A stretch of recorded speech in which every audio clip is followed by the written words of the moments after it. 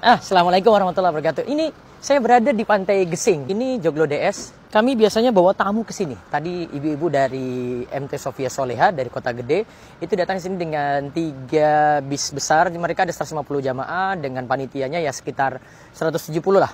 Kemudian mereka mengadakan rihlah tadi kunjungan ke Pantai Gesing dengan view yang masya Allah yang luar biasa dan sekarang perkembangan pantai tersebut luar biasa karena ada satu pemilik uh, pantai tersebut yang kembangkan wisatanya sampai sudah berkembang luar biasa dibandingkan kami pertama kali datang ke sini. Kami pertama kali datang ke Pantai Gesing ini dulu ketika masa KKN.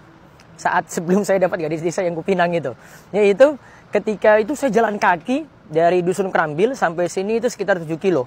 Jalan kaki loh, karena belum ada akses kendaraan masuk sini. Besok di tanggal 10 sampai 12 Mei, kita akan ngadain daurah di Pondok Darussalim. Kita bahas tentang takdir Allah selalu baik.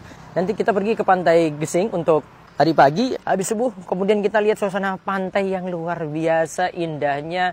Waktunya tiga hari dari hari Jumat Sabtu dan Ahad.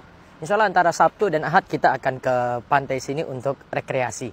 Ada tidak perlu fasilitas yang super super mahal. Yang penting ilmunya dapat kemudian tempat yang nginap itu menyenangkan? Ya jangan lupa masakan desa yang tidak anda dapati di hotel. Ayo datang ke Darussalihin 10 sampai 12 ikuti daurah Romaiso Academy. Allah ibarik